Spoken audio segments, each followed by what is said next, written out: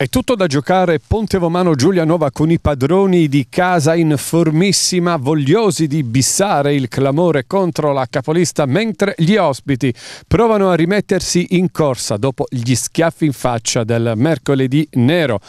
Con le immagini di Maria Carannante andiamo a vedere cosa è accaduto in eh, campo nel primissimo giro di lancette.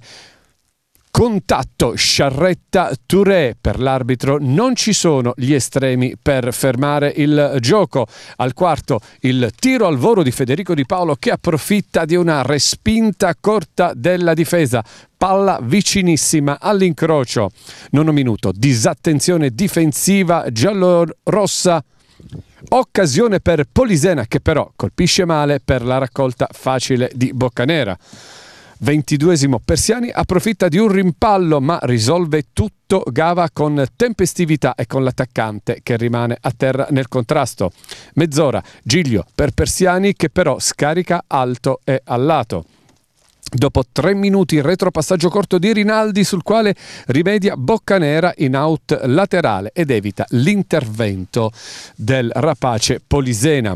Un primo tempo con molta quantità giallonera che costringe il Giulianova ad arrangiarsi con mestiere e la ripresa si apre con due occasioni per i padroni di casa che prima con Touré manda altissimo e poi Polisena che salta e sciarretta ma manca clamorosamente lo specchio. Cerasi fiuta il pericolo e manda dentro le noci e cappelli. Touré e Polisena sono controllati meglio, ma sempre assolutamente temibili al ventunesimo. Touré è debole a colpire di testa da posizione favorevole. Il Giulianova si fa vivo su rovesciamento di fronte. Prima Persiani e sul seguito Barbarossa. Prova il tiro, ma senza il giro. Ancora Giulianova al ventiseiesimo, sassata di Giglio che con il sinistro va fuori di pochissimo. Poi è il momento di Polisena che su assist di Touré va vicinissimo al gol, lo ferma solo il palo. Il Pontevomano ha dato tutto, i giallorossi provano con Traini, forse un po' egoista, ma il risultato rimane inchiodato sullo 0-0. Cerasi alla fine si tiene il punto, Piccioni, la prestazione assolutamente superlativa. Mister un palo, due occasioni clamorose, tanta intensità ci avete provato in tutti i modi. Eh?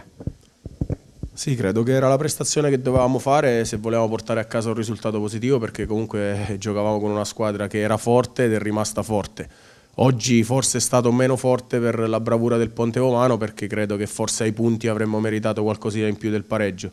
Però la prestazione dei ragazzi è stata sontuosa, ci hanno, ci hanno provato anche negli ultimi minuti nonostante a livello fisico non ne avevamo più ma a livello mentale e soprattutto a livello di cuore è stata una partita veramente importante da parte nostra. Quanto c'è di Piccioni in questa squadra? Ma io faccio l'allenatore, come dico sempre a loro, cerco di, di, trasmettere le mie idee, ma io sono lo stesso allenatore delle prime sette partite dove perdevamo sempre, quindi non penso che ero un brocco prima e non penso che sono bravo adesso. Andiamo avanti per la nostra strada, credo che è una buona squadra che adesso ha capito che cosa significa giocare determinate partite, raggiungere l'obiettivo, desiderare di arrivare a qualcosa di straordinario per noi, perché se si parte da sette partite e zero punti il campionato è cortissimo. E con la prestazione e l'atteggiamento di oggi mi fa rimanere fiducioso per il proseguo del campionato. Allora mister, oggi non era facile perché si veniva da una situazione psicologica precaria, situazione fisica anche, Diciamo che eh, è un punto che Giulianova si tiene stretto. Sì, sicuramente ce lo teniamo stretti per quello che, abbiamo visto in, per quello che ho visto in campo. Eh, ripeto, il Ponte Pomano eh, è una delle squadre che ci ha messo più in difficoltà in assoluto. Gli altri 0-0 sono completamente diversi da questo tipo di 0-0. Eh, loro hanno fatto bene, ehm, ci hanno dato fastidio in ogni zona del campo, non, non, non, ci hanno fatto giocare praticamente quasi mai. Quindi è un punto che mi tengo stretto che eh, dopo la situazione eh, vissuta in settimana, la terza partita in questa settimana e soprattutto per tutte, tutte le mancanze a livello di giocatori che no, per me non è una cosa da poco, mi tengo stretto questo punto sicuramente.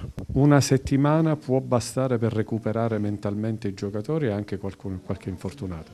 La cosa che mi, mi preoccupa di più è che vorrei di più che rientrano prima possibile gli infortunati, poi a livello psicologico ci lavoreremo, ci staremo attenti durante la settimana, abbiamo una settimana tipo questa settimana ed è importantissimo, però la cosa che mi, mi preoccupa di più è recuperare prima possibile gli infortunati.